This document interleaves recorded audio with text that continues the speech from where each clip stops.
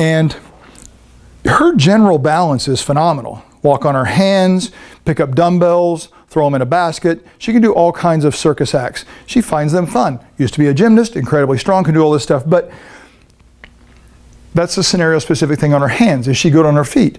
Well, she can do some stuff on her feet and she can stand on one leg for a long time. Part of what keeps her standing on this leg for such a long time is she's got the strength slash strength endurance over here, the ability to control everything above it with this hip, and the ability to control everything above this with this foot, which you'll notice right now is going through constant, constant, constant adjustments.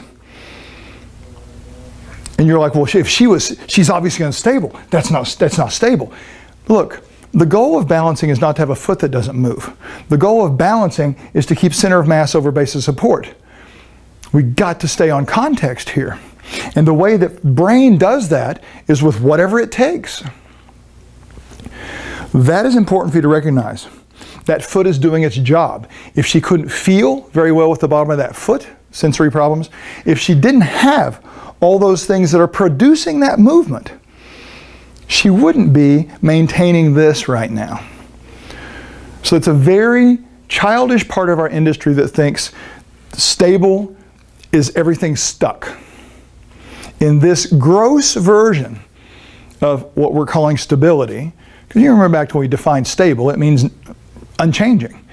Well, her foot is providing the context based, scenario specific not uh, uh, lack of movement, preventing movement in our center of mass, keeping it over that base of support. But even as that adjusts, as things get tired, as the hip gets tired, there's constant internal neurological adjustment. When you see that, be glad because without that, to some degree, your clients are unlikely to be able to improve very much. Yes, we might find that she actually, during the initial stages of this thing, has less and less of that over time. But the longer she stays there and the more fatigued things become, I think you saw that it started working harder. It started finding, trying to, it was tougher to find how to maintain this position. But it certainly is not a static foot scenario.